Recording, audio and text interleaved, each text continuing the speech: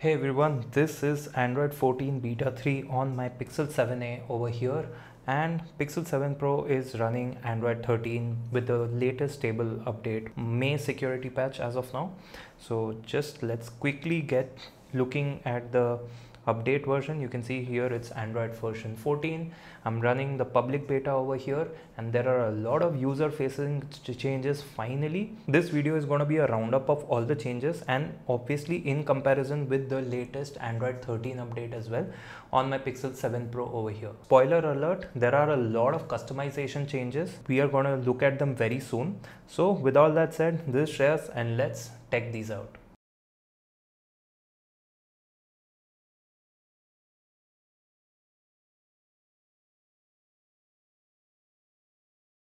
So let's straight away dive in. The customization changes is the first thing which is which you're gonna see and particularly the lock screen customizations. To dive in, you can straight up go to the wallpaper and style section of both of these.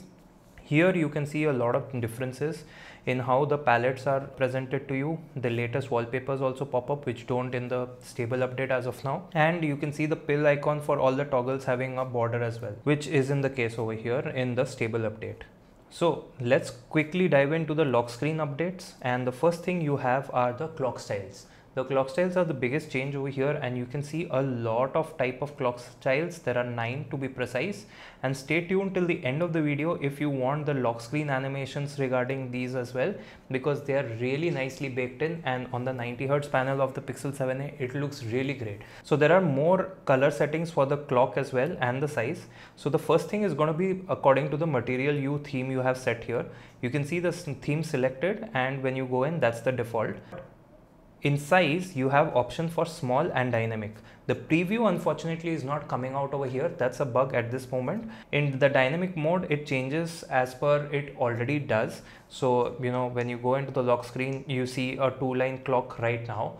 But if you have notifications, the clock shrinks and goes to the top left corner, right? And that's what dynamic means. But in small, it will default to the corner clock as you can see in this particular case. Now you have options to set it from here itself which is pretty good but the next level of customization is going to be you have a lot of preset colors from which you can choose from so for example if I choose this you can even choose the color tone with this brightness slider over here. As of now, let's go with this particular lock screen as well. And you can change the wallpapers right from here just for the lock screen. So let's say if I change the wallpaper, this wallpaper will change only for the lock screen.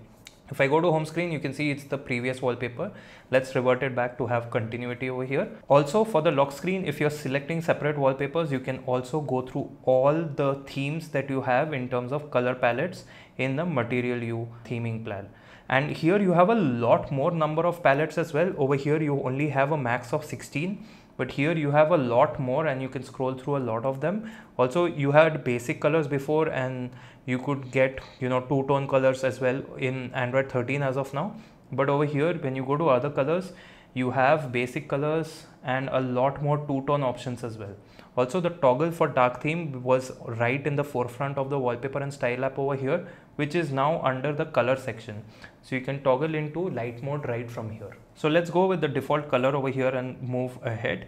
What you also get now in addition is going to be that you can choose the notification level and uh, security permission right from here which is a quick way to access it. Also you get shortcuts. Now this is a much awaited change. The way i like this being represented is when you have the left shortcut uh, selected you can see everything has been darkened out and only this is highlighted.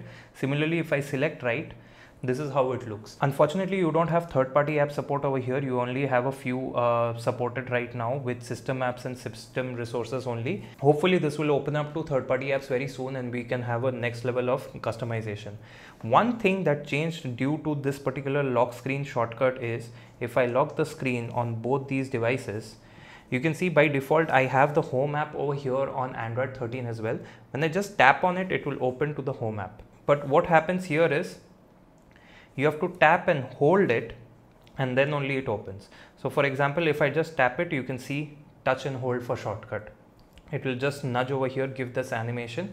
Same with the flashlight. I think this is a good move because, you know, a, a, lot of times accidentally with the corner of my palm, even when I had the phone in my hand, it used to trigger the home shortcut over here, which won't happen over here. Speaking of which, you can see the animation from the always on display to the lock screen and the movement into the uh, home screen as well. So if I tap and hold over here, you will get one nice haptic feedback and the flash is on. Same thing, I can just tap and hold over here for it to turn off. The haptic feedback is really nice, which helps in you knowing that if you have activated it or not. Obviously, you have the at a glance widget to turn it off with as well as a shortcut. So very quickly you can see all the clock themes over here. They look really nice and are intuitive with their own individual animations which I will show at the end of the video. So here's another lock screen animation. You don't have to hit apply or anything. It will just get implemented by its own.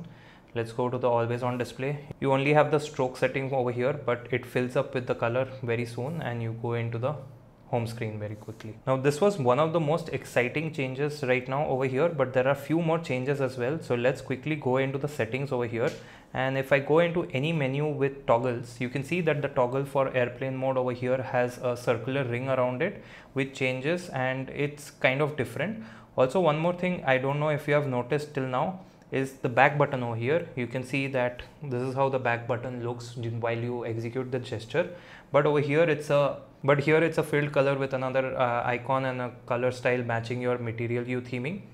It's not just a blank white uh, arrow icon like over here in the stable version so now I have reverse wireless charging on on my Pixel 7 Pro and you can see that there is a small pill shaped notification on the top right of the screen saying about the battery status and that it's charging right now. And one more thing that didn't happen before is that if you tap on the clock over here in Android 13 right now in the stable version nothing happens but this can act as a clock shortcut for you if you tap from the quick settings menu.